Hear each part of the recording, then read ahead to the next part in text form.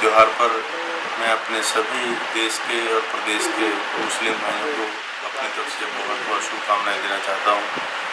और भारतवर्ष एक ऐसा देश में जिसमें सभी धर्म जाति के लोग रहते हैं।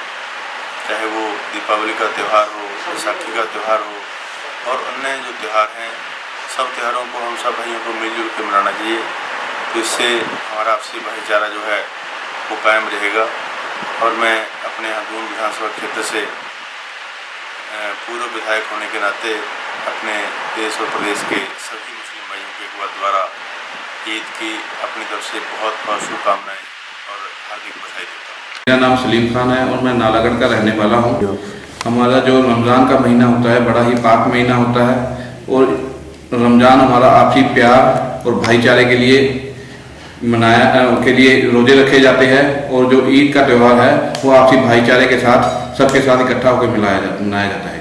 मैं देशवासियों और प्रदेशवासियों को ईद की मुबारकबाद देना चाहता हूँ। सिंह राणा एम एल नालागढ़ हल्का आज जो ईद का त्यौहार है ये हमारे पूरे भारतवर्ष में हमारे मुसलमान भाइयों द्वारा धूमधाम से जो मनाया जाता है, इन त्योहारों के ऊपर अगर हम गौर करें कि हमारे जो आपसी भाईचारा है, आपसी प्यार है, इससे हमारा आपसी जो भाईचारा है, वो बढ़ता है और जो हमारा एक दूसरे के साथ मिलना, ये भी एक बहुत अच्छा शुभ संकेत जो है ईद के मौके के ऊपर होता है।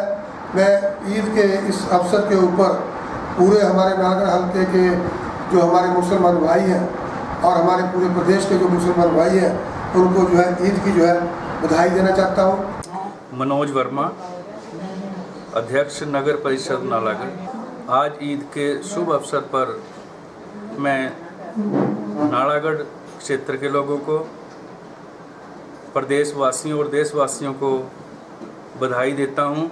कोई भी हिंदुस्तान का जो धार्मिक त्यौहार है ये सबका साझा त्यौहार होता है। और वैसे भी नालागढ़ क्षेत्र में तो खासकर सभी लोग मिलजुल कर यह त्यौहार मनाते हैं। नालागढ़ वासियों को, प्रदेशवासियों को कि यह त्यौहार ईद का जो है, मिलजुल कर सभी मनाएँ। इसी संदेश के साथ